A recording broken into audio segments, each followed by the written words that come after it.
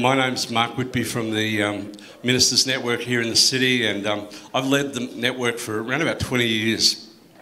I think it's around about that. And you know, the, uh, recently I, um, I stepped down from the leadership of my own local church, feeling that the Lord was speaking to me about pastoring the city. You know, really spending more energy on on Frankston, and I'm just become singularly focused on, on really seeing Frankston doing all it's called to do. And I know that's the call of the church in the city anyway. But, you know, um, one of the promises that God gave me was out of Isaiah 58.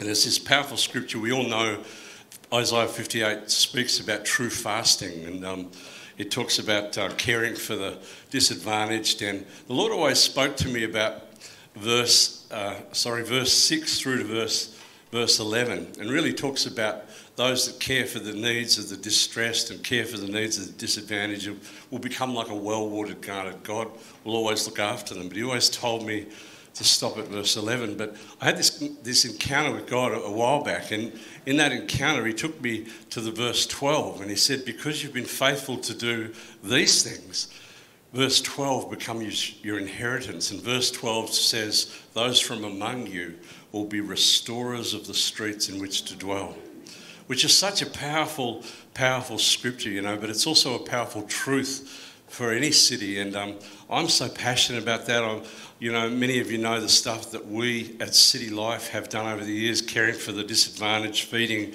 people. We're still doing that every morning, of course. And Wendy Shotter, who's here somewhere, I don't know where she is, oh, right there. Wendy's our manager down at the, we, we run a, a breakfast every morning down at, down at the Frankston TAFE and we're feeding, you know, 40 to 45 people every day. And that, that's just a great ministry, but it's, you know, we've got around about 65 volunteers that work in there, which many of them come from the church, but other people come from other places. And, but we're also doing a lot of other things. We do the Christmas lunch. We obviously do the big event down at Easter. But I, I really feel like as a, ch- as a church in the city, God's calling us to engage on another level. A couple of years ago, I was over in London, and um, Sue and I were wife and I we were staying in a place called where was it, Sue? Down I forgot the name of that little town. Do you remember? Doesn't really matter, but it was actually not London, but it was out of London, and and in the middle of the shopping centre there was these people walking around with um, yellow vests on with street pastor or something like that written on their backs, and I remember saying to Sue. Frankston needs that, you know. That's something we need, you know. Seeing these people wander around talking to people, and thought, what a, what a great idea. And um, recently, I just felt God start to speak to me. In prayer, I was praying one day and He said, Mark, I want you to now do that. I want you to do that in Frankston. And, um, and to be honest, I didn't know where to start, but the Lord told me to ring an old friend of mine, Jim Jung. And Jim is the former pastor of Peninsula City now. He's a full time chaplain for the um, Victoria Police. Jim's doing a great job there. He's actually founded that. Comes out of Frankston, which is great and I think he's got 60 full-time past, uh, full-time chaplains now. Is, is that right, Jacob? Am I saying the right? Something, all all volunteers, but 60 people working with the Victoria Police. It's such a, a great thing that he's doing. Anyway, met with Jim the, the day that God spoke to me, and, and Jim actually sent me the, the, the phone number of a guy called Randall Bond. And now I'd met Randall previously. Randall's down here. I'm going to introduce him to you in a moment. But Randall um, I, I rang him up and said, Can I have a coffee with you? And he started to tell me what he'd done in Melbourne. And I didn't even know about this. I didn't know it existed here in Melbourne. But uh, he's told me about what's called Yarra pastors. They're doing the same kind of thing, you know. And so it became a real connection. But in that conversation with Randall, he actually told me about this conference called Reclaiming the Streets, which is, we've got some posters up here for, and we're going to give them out a little later.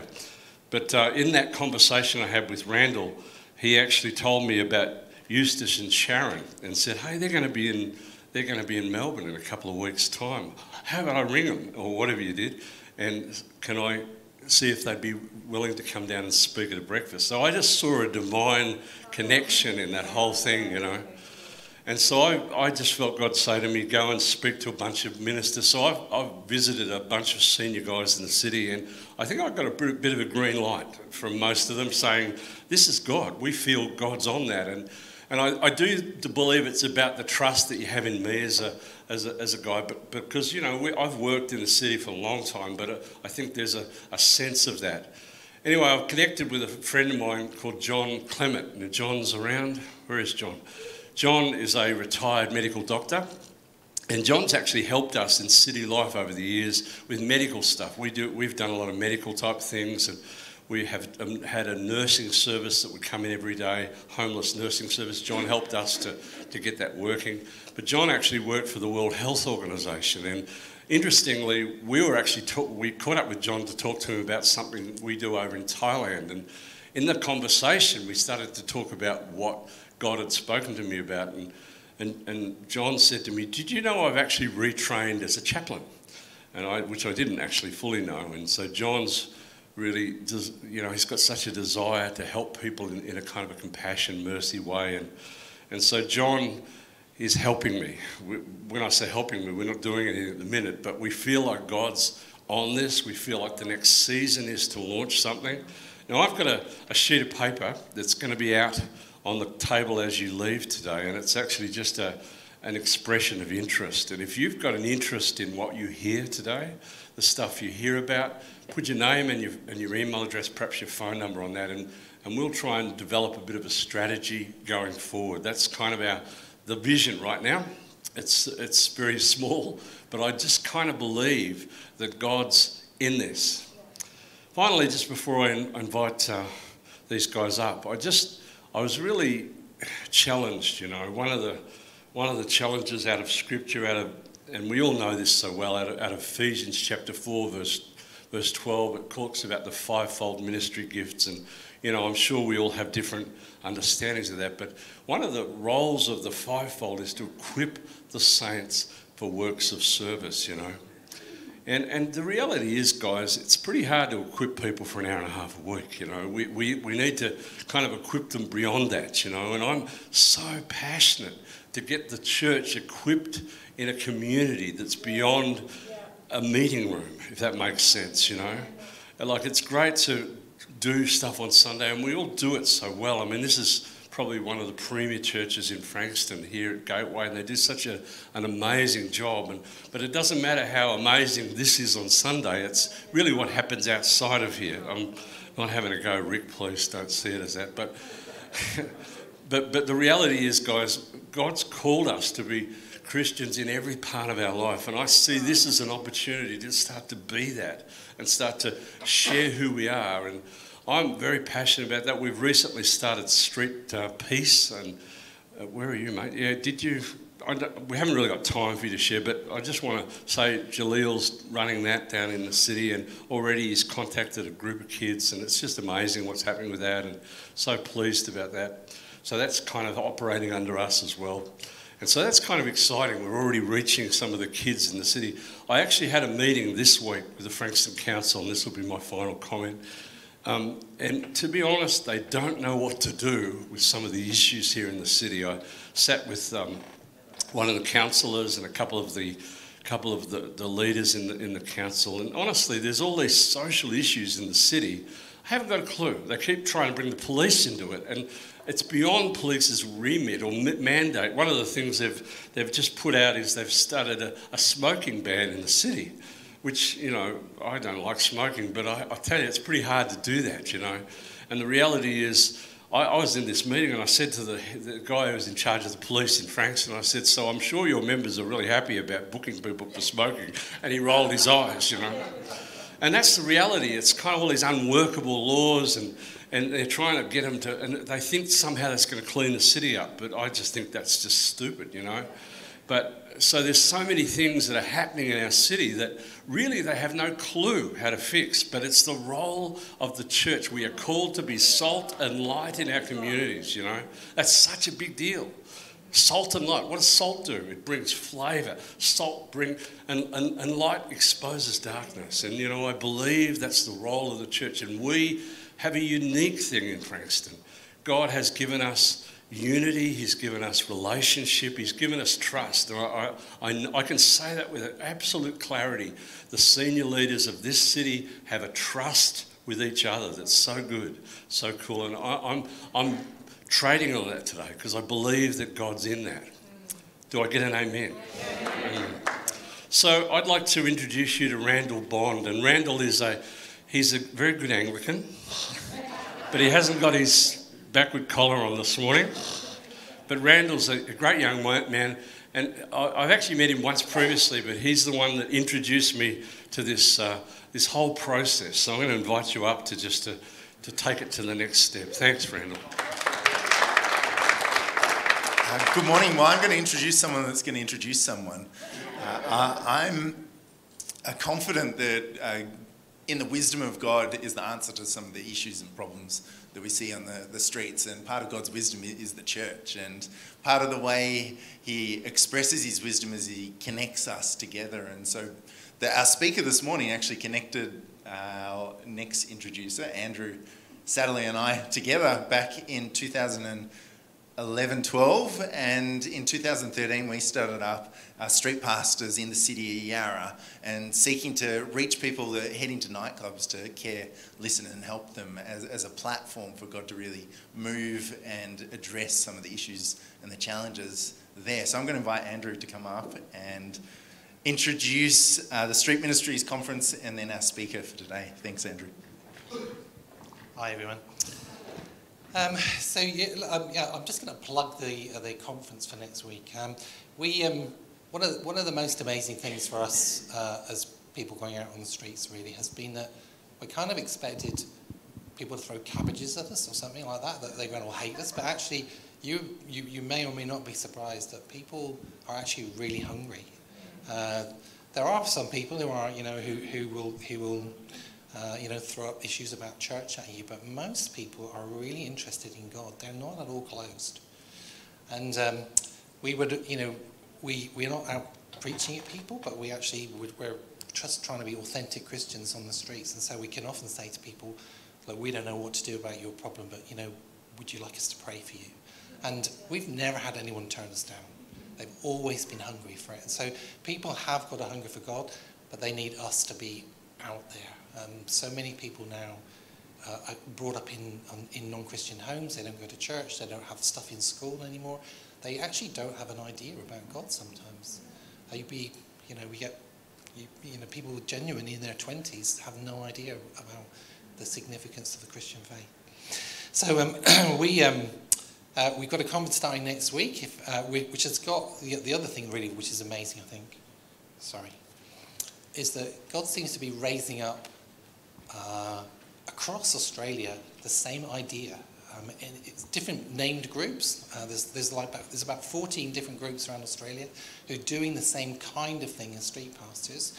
And God seems to be working independently around this big country, raising up people to do the same things in churches. So we're having a conference next week, and we've invited people from all over, uh, and they're all coming. You know, there are people coming from across Australia and from local, in Melbourne, and it's really to get together to learn from each other, um, to encourage each other and um, to hopefully sort of spark off uh, this kind of ministry um, here, you know, in other places. So um, we want to try and get more people out on the streets and, and people sharing the gospel out on the streets.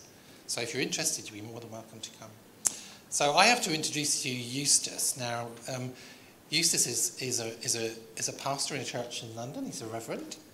Um, he is the uh, director of uh, Life Builders, which is a, a, a, men's ministry in the UK. But more importantly and more uh, uh, significant for me is that he's the director of operations for the Evangel- sorry, the um, Ascension Trust in the UK, which is the parent body of street pastors. Um, Eustace uh, and his wife Sharon have been were instrumental in starting street pastors in the UK in 2003, and there are now starting with 18 people there are now 14,000 street pastors across the UK and then across the world. It's growing in, it's going right across the world. And God's really behind it. And so um, I'd like to introduce you to him and Sharon. Come on.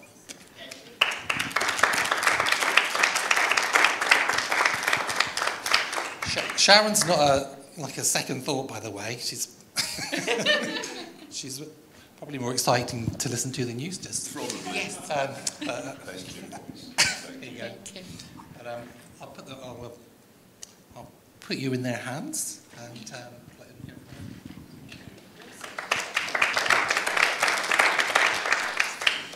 I always think if you can get the applause before, that's good because you haven't heard a word I'm going to say. It, it, it is a pleasure. Thank you for the invite. Um, God is really good because we landed yesterday and, uh, and He granted me sleep. Yeah. No, no, hold on. Did you hear that? He granted him sleep. Sleep, he Just did, he did. He did. Um, around about 10 o'clock, I, I felt time to go to bed. I thought, thank you, Lord. And as I was closing my eyes, I remember seeing my wife wide awake and, and thinking that's. But it, it is a pleasure to be with you. It is. Uh, would it be okay to uh, allow a, a period where you could ask us some questions? Yeah, yeah. So we'll, we'll talk for a little while, and then most of the important stuff you want to know, you can ask. Uh, uh, we, we'll clear that up. Um, my name's Eustace. Um, I'm a really busy person, so people tell me. Um, but one of the most enjoyable things that I do in terms of ministry, it's got to be said, it is um, street pastors. I say to people, I have the most, the most interesting, and I probably have the best job in the whole wide world. I, I spend my time uh, dealing and uh, going to different churches, speaking to ministers. Um, it, this is kind of my nine to five kind of thing. And it's always about how can we reconnect with our community? What can we do? Uh, that's the, really the positive side of dealing with ministers. Yeah? And then there's the other side as well. We're not, we're not going to go into that. Yeah, we're not going to go into that. But God, uh, I I love the fact that whenever we start a meeting, um, whether it's a one o'clock meeting or whether it's a uh, evening meeting, I, I used to come out of my meetings and I used to go home to my wife and I used to say to her, "This is an excellent job." Yeah, and she used to say to me, "Why?" I said, "Because we get to pray before every conversation." Yeah, Now, if you work in the secular world like I did, that was an amazing thing. You got to pray before you started a conversation, and at the end, you pray again. Now, my meeting with people would be about going and say to them about street pastors. Street pastors. How can we summarize? How can we summarize street pastors? Easy. Go for it. It's the church doing what the church was called to do. Simple. Mark, I'm with you. See, just to let you know, I'm a Pentecostal woman. Amen. I make no excuses, right? And we need to be where the people are. It's brilliant being in the house. We come in the house to give God thanks for the week. But if we ain't out feeding those that are hungry, clothing those that are naked, and sitting down with an arm and a shoulder for those that are in need, we are not the full counsel of the gospel of Jesus Christ. It's as simple as that. Street pastors is an arm. Can I just tell you a story? Would that be, would that be all right? Would that be all right? Now, I've been doing this for 16 years. If the roles were reversed and I was sat sitting where you are now, I would be saying, Lord, let the doors open, let me leave, because this is not what I do. I would have been saying that. Les encouraged me to put on, we have stylish uniforms that says street pastors and we have baseball caps. And I give God thanks that I listened to a man that had more wisdom than me. I was out one night on the street. When you, no, notice my terminology, when you become a street pastor, not if, we don't do expression, we're doing, yeah? When you become a street pastor, there will be times when you won't want to go out. It'll be cold, wet, and windy, and you'll want to stay indoors. But I'm going to leave you with a story that I hope will encourage you. It was one said night, and I didn't want to go out. But I put on my jacket, I got ready, and I walked the streets of London. We go out at 10 o'clock at night till 4, 5 o'clock in the morning when the people weren't there. And I didn't really want to go out. And I don't say, Thus saith the Lord. I don't preach scripture because I'm the walking testimony. I'll tell you what God has done for me.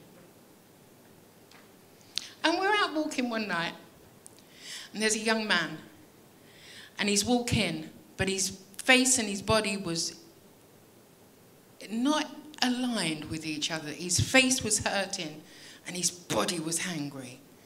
So I said, Good evening. He didn't stop. I said, Sir, I said, Good evening. Then he stopped. And all of a sudden, I heard God say to me, Tell him I love him. Yeah, yeah, all right, hold on. Let me, let me exchange names. Like, you know, wait a minute. I can't just come in straight there, right? Yeah. God says, Tell him I love him now. I said to the young man, I don't normally do this, sir, but I've got to tell you this urgently. God says he loves you.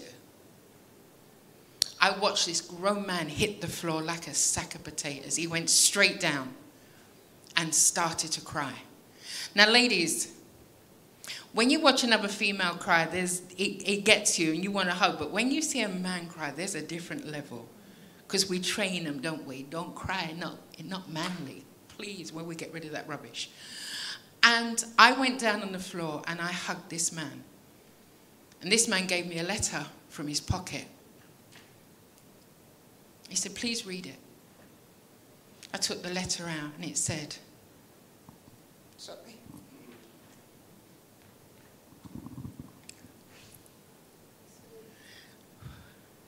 Dear God, if you love me and you can forgive me, send someone to tell me you still love me. Because this is a young man of 23 that wasn't in the church, but met a young girl that Brett brought him out of the church. He got into trouble. He spent time in prison. She had a baby that he never saw, and he come out and he couldn't get a job. He had no gas, no electricity, no food. And at the bottom of this letter, it says, If I don't hear from you, I will take my life tonight because there's nothing worth living for if I don't hear from you. Now, I could be here all day, all week. We're here for 13 days, and I could keep you 13 days straight with every story that I've told or experienced. But what you need to know is that you are sitting here and someone is praying for you to come and bring the good news of hope and salvation to them. Don't not respond to their repair. Amen. Amen. She's left me.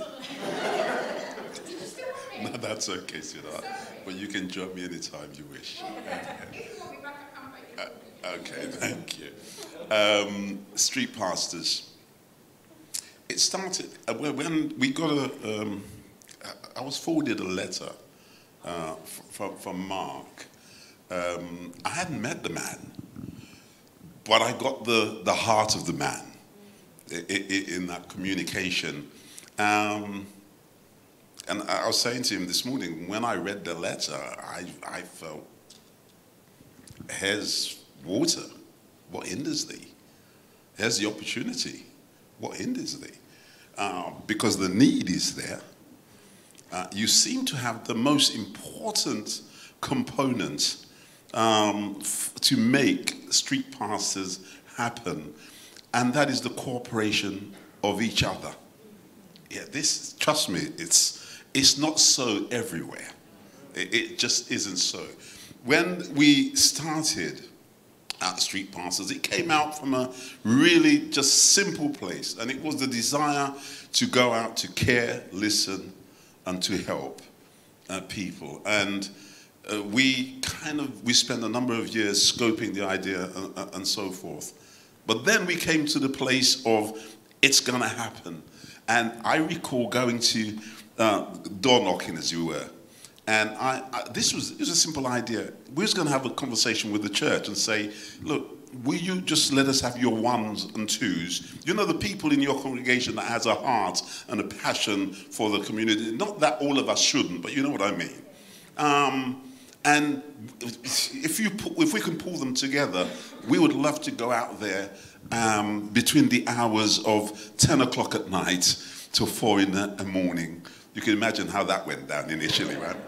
Uh, and um, we, we just and that is because, um, unbeknownst to us, uh, when we were having a conversation with the police later on, those were the hours apparently stuff happened people got hurt, the vulnerable were exposed. So God was doing a thing. And we started to have that conversation uh, with the church. And uh, after a while, we had a. Um, a day such as this, the, it was going to happen. The media were invited, all the churches were invited in a Baptist church in Brixton, and they were wall to wall ministers. It was excellent. You know, when you get encouraged and you think, yeah, Lord, you're going to do something here. Wall to wall people. And, and again, with the message was, let us have your ones and your twos, and we can pull together. And this is the key thing. We don't want it to be a, a Baptist thing. We don't want it to be a Methodist thing. We don't want it to be a Pentecostal thing. We want it to be the church. Yeah, can we do that? And that is one of the things one of the criterias, if you like, for street pastors is that if any area, and we had the same conversation uh, with the guys in um, Yarra, if any area says, we would love to do the street pastor model, will you come? Let's get this stuff going. First thing we say is that you must have at least four churches from different denominations. Uh, we have had expressions from big churches who say, we want to do it on our own and they've gone and done something else. There's something wrong about a church that doesn't want to play with others, yeah, especially other Christians. Yeah, um, there's something wrong there. We had this excellent day, and I left there really encouraged. I thought, yes, Lord. We had something like this. Yeah, I thought, yes, Lord, it's going to happen because we had over 70, 80 churches in, in, the, in the gathering. Some weeks later, we had our very first training uh, in, on Angel Town, a notorious estate in Brixton, and 18 people turned up. 15 were women. Hallelujah. I am constantly reminded of that. Uh, uh, 15 of them were women, and it was an amazing thing because I spent the, the longest period of time saying to God, How is that? Yeah, because what happens, of course, is, you know, the, the call comes out and it's let's go out. And there is a story and why we got where we are. And I'll share that uh, during the week. But the women kind of responded. Um, and some of them were the seniors. Yeah. I, I, later found out that the senior, give, if I was to go out, can I speak prophetically? Um, when you go out, were I to go out with you, I would find the most senior mother in the team. Because she, on that Friday, Saturday night, is my secret weapon. Oh, you don't understand. You put, you put a granny here yeah, you're not, you've, you've not just brought a granny onto the street, you've brought all that life experience onto the street. You're going to bridge the gap. Those young men and those young women, they just want to protect this granny. It's an amazing thing. And so we have, if you like, this section of the church. Sometimes we're sitting down because they think, you know what, it's time for the next generation. No, no, no, there is stuff to happen. It is an amazing thing. I have seen grannies. It is Friday night. We are in Brixton, and I've got a politician uh, who is is a national politician. He wants to go out and see what the church is doing. So I've invited him over, and he's with us. And he, they, they kind of say, We'll come out with a, for an hour with you inevitably, three hours later, they're still with us because they just are amazing at what God is doing or how these normal people are able to engage with people that they think that are untouchable. it, it, it is. Some, we're walking there, and there's this there's this group of young people in the distance, and you can see the body language. Something's going to go down. You know it. Um, so I'm across the road here, and uh, one of the street pastors, she, she takes, she's a, a man type. Yeah, she loves people. That's her thing. She just loves people. So she, she moves over to the midst of them. And uh, when, when the politician sees this, she kind of goes to this person. And then there's all this ruffling going, and she does this. And he does this. Thank you. Um, And as he sees this, in the midst of what's going to be a possible conflict, he says to me, My gosh, Eustace, that's brave. And I said to him, No, Frank, if I had done it, it would have been brave. But what he failed to see was the body language of this, because what she did, she looked for the tallest one in the group, figured that he was a t- leader, and she went in and she did that. And when he turned round, his whole body language did that. He saw Nan. He saw Nan, and that diffused the whole situation. And I knew, having gone out with her many times, I knew what she was doing. She had pulled him over and she was giving him that Nan talk, you know it. She was giving him, You're so much better than this son talk. You know, the, the thing that Pastor had said, she was now saying that to him on the streets of Brixton. The kind of thing that mum had told him. She was, and it's amazing, don't you find children? You tell, I say to my daughter, You are excellent. I say to my daughter, I believe that anything you put your mind to, you can achieve. I've told her this from the time, yeah, she's like, you get a stranger that gets that set, and she, it's a revelation apparently. And it's not unsimilar. We are out there at two o'clock in the morning. The last thing they expect is to meet you and I. At 11 o'clock on a rainy evening, the last thing they expect is you and I. We trained 18 people, and then we went out the first night. I kind of had a, a conversation with God because if I was planning it and I was going to take a group of people down to Brixton, you guys are familiar with Brixton, Lambeth? It has a bit of a reputation. Some it deserves, some it really doesn't. Uh, uh, my plan would be God, could we make it 15 men and maybe three women? That's because I'm, I'm thinking safety. Uh, uh, that's uh, what's it? But he had a greater plan. We're, we're, we're walking, and I'm a little bit apprehensive because we're going out 10 o'clock at night, and the media had caught hold of this whole Christian people are going out where people are raving and the nighttime economy. And they had asked them, and some had said that, you know, why would Christians want to come out on a Friday night to spoil our fun? I thought, wow, out of all of the things that we could be seen as or to, we were going to be people who were going to be spoiling other people's fun. And I tell you, I have been, I've had the privilege, we've had the privilege of going out on many a first nights, many a first nights. And I love it whenever we do that because I stand up with a level of confidence that uh, people think, surely Eustace. And the only reason is I can say that when you go out as a street pastor, your community are going to embrace you. You're going to say to me, How do you know that? Because I've seen it time and time and time again. And God, the God of Yarra, the God of Brixton, is the same God of Thailand. It's the same, it's the same God. What he has done here, he will and can do. Uh, we went out for our first night. It was a remarkable night. We were walking down, and people were giving us the high fives. Police, we have a relationship with the police, but it's a distance one.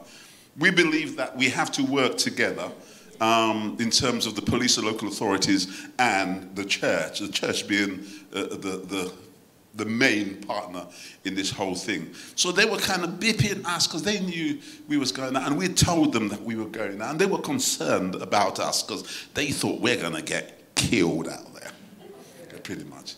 But people were giving us the high fives. I had strangers coming hugging me. And you're looking at me and you think, don't everybody do that, Eustace? Yeah? And they were hugging me purely because I was a Christian. Because I said it. I had it. I had street pastors. They knew we were the church. And these are the questions that we got asked. And these are the questions that was asked in Yarra. And these are the questions that's been asked in Scotland. These are the questions that's been asked in Jamaica. These are the questions that's been asked in America when street pastors go out. is Who are you? What are you doing? And the, the answer to the who are you, is the most perfect answer. Because the answer is, we are the church. Now, and they want to know which church, and here's the beautiful bit, yeah, we are all the denomination. Yeah. And some people are, they're really excited about that. And I think that's to our shame. That when they hear that the church is actually one, they get excited about the whole thing. And the second question we are asked is Is this an event? Very important. Um, a good friend of mine, Les, um, says this. He says the church takes a year to plan an event, takes a day to execute that event, and take another three years to pray about whether we should have the event again. Because we're event driven. We do a thing, whether it's a conference, whether it's a church service, we're event driven. And the people out there kind of know it. But to, and our response to that was we will be out here every weekend. We will be out here whether it's raining, whether it's sunny, whether it's snowing. We will be out there. And it's really important that we are seen. And not, not only will we be out there, we will be visible. So when you see this street pastor uniform, and I do apologize. Um, had I knew you had this fantastic setup, I would have brought a, um, yeah, a PowerPoint or something for you. But the uniform is a blue uniform and it has street pastors. Yeah, it, oh, it's on there. Okay. Um, and it pretty much says this Here I am. I am the church. Let's have a conversation. Here I am. I am the church. Ignore me if you want. We don't push it down anybody's face. But the, the powerful thing about street pastors is that we do not parachute street pastors into any area, it is the churches in that area. It is yours. Uh, so it's, it's the, people you're going to meet on a Friday and Saturday night. Be prepared to bounce into them in Audis. It doesn't stop just on that. And they're going to see you in that. And I was sharing with Mark the wonderful thing, uh, especially in the early days, was that we would go out and we would do the training and after we'd done the training, people would go out. And on Tuesday, on Thursday, during the week, I would get phone calls. And it will be people that are street pastors who are on their way to work. But they stopped because they spoke to that homeless guy that they usually used to walk past and they've got his details. So it didn't stop there. It wasn't something that we did, but it was an expression of who we are. And that, that's really important. God is an amazing God. I would love to stand here and go, you know what? Les, the team, Sharon, and I, and all the others, we take credit. We, honestly, we can't. Yeah. For the very first five years, maybe to a degree even now, what our prayer has been God, can you slow this down, please? Because it just took off. We had a very simple desire and it was, let us go out to care, listen, and to help. And the rest, God did. The rest, the, the fact that we was now getting expressions of interest from parts of the UK that I've only ever seen on a motorway. And pl- places around the world, like Australia. How else would I ever get here? Or to receive a letter from somebody in America that says they were reading a book from the N.T. Wright and Anglican theologian. And in there, he wrote a simple sentence about the expression of the church on the, on the streets. And he said, I was in Glasgow and came across this group of people and he gave a briefest of description of street pastors. That caused an Englishman in Chico, California, to send me an email for us to have a conversation, for me to be on the plane three months later, for us to start Street Pastors in Chico, California. Can, you can imagine my surprise when some a year later I'm in Bangor, Maine, and they say, We read a book from N.T. Wright, which had a sentence, and it happened. I, I recently I've heard this, you know, when people talk about the perfect storm. Kind of this feels a little bit like the perfect storm. Yeah? God is ready to do something. And my desire um, really is yeah, do it. If God is, whenever uh, He's ready to do something, He has this unique ability that He, he, he raises up a man or a woman, yeah, just to stir stuff a little, yeah.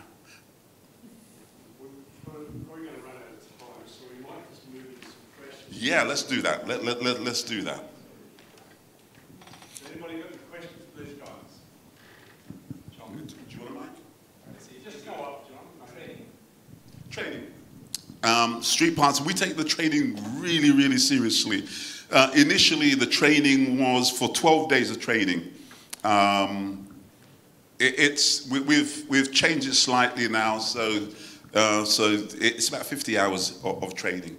It's, it's not academic training, it's really practical training, training that will equip individuals um, to feel a little bit more confidence. It, it covers such thing as the good news, really important, knowing your community, drug awareness, rosary responsibility, youth, uh, all of those key um, subject matters. And of course, if there's something unique to your area, um, I, I, my thing is that you can't have too much training. But training is in the time that we've been going out, 16 years of street pastors, I can, for the very first 10 years, if you ask me how many incidents had we had, I would have said to you, none. None. And that is because of prayer and I believe the training. Just to let you know, don't sit there think that you have to be Bible scholars to do this. Because trust me, you do not. All you need is a relationship with Jesus Christ and the, the ability to actually say, hi, how you doing? That is it. We don't carry tracks, we are the track. We don't do anything like that. It is just the ability to come alongside someone and see how they are. You don't have to be a Bible scholar. It helps if you know a little, but you don't have to know a lot. Any other questions? What's the follow through like with the people that you meet on the street? What's the The follow through. The fourth. You, you, there's a there's a a, structure in it that you'll have a coordinator and a senior. So if someone says to you they want to get off of drugs, like they, the young man that I met, he wanted to get a back out. We send that information to the coordinator. The coordinator then will meet with that individual, and they walk the road until they're ready and where they need to be. So there is follow through. It's not just I'm here, here I am, bye bye. No, we will walk and we will meet the need to the best of our ability of the individual. You will refer um, because you know what the service is in your locality. You meet that individual. It may not be for the church, maybe it's something that the local authority does. We're able to refer them to the point of help. Um, so you meet someone out on the street, are you allowed to get their contact details and follow up afterwards? The coordinator would do that that wouldn't be you. Because of practical reasons and safeguarding reasons you're you have a mobile number that's a generic for the coordinator. That is the number that goes out. Because we have to be wise. You don't know who you're going to meet so we don't want no incidents. But there wouldn't be nothing stopping you meeting with the coordinator but it wouldn't be one meeting on one-on-one. So it'd be the coordinator or the senior team member it- that would do that. And it's amazing because um, you remember if you're out at two o'clock in the morning and you're having a conversation with Joe, and Joe says, "Yeah, I would need some help," and Joe says, "It's whatever it is. If it's drugs, we're going to see if we can help you. If it is homelessness, we're going to see if we can help you. Actually, if it's a faith thing, I'm your geezer. Yeah, I, I, I'm the person for that." Um, whilst the coordinator will be given the details, You would th- take they've it. kind of connected with you. The- And if they're going to go to a church, it's they want to go to the church that would let somebody like you out at two o'clock in the morning because that's that's that's where they met you. Yeah. But if you want to find out more, come to the conference as well. Have there ever been any uncomfortable incidents that you really had to face and kind of got in your face? Oh. There's, I've had a couple. Oh yeah, we was out one night at Jazz Cafe. There's a big jazz cafe, and there's prolific drug dealing that goes on. And me and my counterpart Sharon, the two Sharons are out, and we're out there and we're ministering, and we know there's something going on. Then all of a sudden, I see this geezer go like this. And I thought, okay, fun and games is going to happen here. Let's get ready. And he belted very quickly and knocked my uh, friend's cap right off. Within seconds, I kid you not, I have four Rasta guys locked up out of the heads, got this man off his feet up the wall, and he said, Mum, you want me to deal with him? I said, No, put him down, please, I beg you, put him down. Um, you, you become, it's really, it's hard to explain how the people on the street become your protectors. It really happens very, very fast. You know, I've, I've had stuff where people turn around and say, don't touch them. They're women of God. You don't touch them. And these are hard, some of these are hard fast. I've stood in front of guys where it says, where they're, they're holding, you can see the gamba or the, the um, borer. Do you have borers? Um, it's like a screwdriver and it's sharpened up and they use it as a knife, yeah? So I've stood in front of that, but there's a still a level of respect for church. It, can't be said loud enough. We have an immense amount of credibility out there. We Yeah. have, there is, whether they've ever walked through yours or my church, there are loads of people out there that see they're connected either through nan, mum, auntie, aunt, somehow they, they, they are connected. And there's a, there is a loads of respect. I just think, you know what, we just need to be out there and claim, reclaim that. That, that, that, that's ours. If I had a penny or a dollar for every time someone has said to me, about time the effing church is out in the street doing what the effing church should do, I would have my own plane. Because it, it's really strange that you have non Christians. I mean, I've had so many people don't always agree with your theology, but I love how you love on people. And that's what we need to do.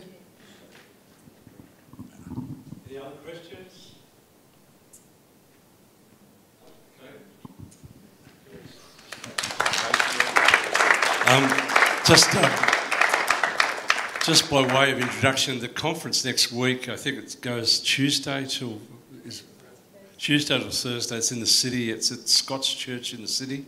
If you'd like to come to one and one or all of the sessions, uh, it's not very expensive.